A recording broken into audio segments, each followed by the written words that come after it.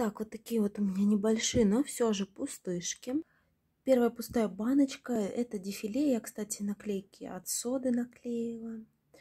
Закончила. Все. Аметист Фаталь, один из аметистов у меня закончился. Очень-очень рада.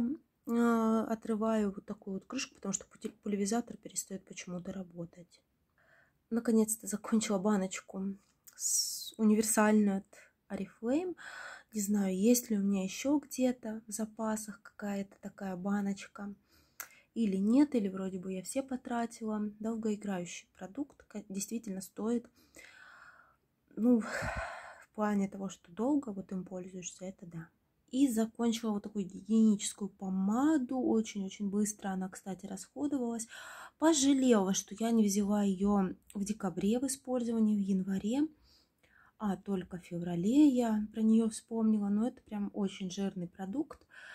Нужно было еще в прошлом году зимой ею пользоваться, а, просто восхитительно.